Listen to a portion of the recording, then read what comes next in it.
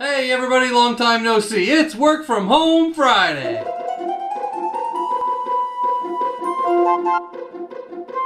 So there was a lot of stuff I wanted to tell you guys about this week. I got a landscaping project, my dad's birthday was yesterday, we got the 720 project, and I really wanted to plug Louise Martin's Veda videos. So how was I going to do all that stuff in one video? Well, I had this great idea. I was going to do this like newscaster thing where I went through all the stories like newscaster style. It was going to be really hilarious, except...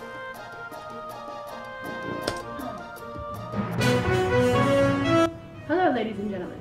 My name is Louise Martin, and this is the Evening News. So the day before my newscaster sketch was going to promote Louise Martin's Veda videos, her Veda video was a newscaster sketch. Well, that's not gonna work. Now this is not the first time in my life, nor will it be the last, that my plans come crashing down around me. But that's okay because after much experience I have learned how to deal with this. Along the lines of my previous video about how struggles give you the tools to deal with life, but you see that's how life works. Yes it sucks and yes it's hard, but as you get through it you end up with more tools in your toolbox.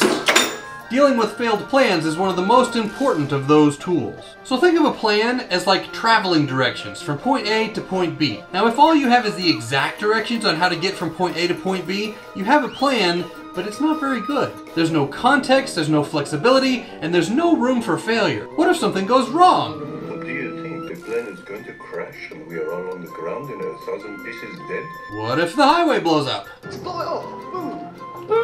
What if a flaming meteor falls from the sky and blocks the road completely? Well, it's handy to have a plan B, but then you only have two plans, and that's not a whole lot better than one. Wouldn't it be better if you had the whole map where you could find your way around any possible obstructions that comes in your way, and who knows what you'd find along the way? You might find the world's largest rocking chair, or a beautiful vista, or a great root beer! When I was a kid, yes, back in the dinosaur ages, my family used to go on real live family truckster style road trip vacations, and it was not unusual for things to go wrong.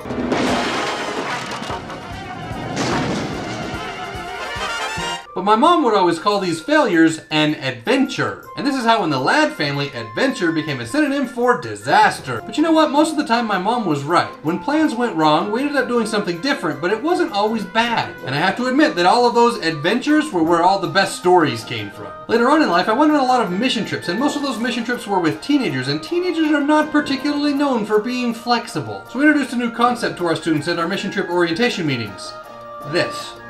It means remember to be flexible, because plans don't always work out. So when we arrived at the church we were supposed to sleep in, it turned out to be locked, or the luggage truck driver got stuck in traffic for three hours, or the restaurant we were going to turned out to be closed. We reminded everyone, be flexible. So even though today's video is not working out exactly as planned, I think it's going to be okay. Now I do want to say happy birthday to my dad yesterday. I want everyone to go look at the link in the doobly-doo for the 720 project. It's a project to build a memorial for the victims of the Aurora Theater shooting.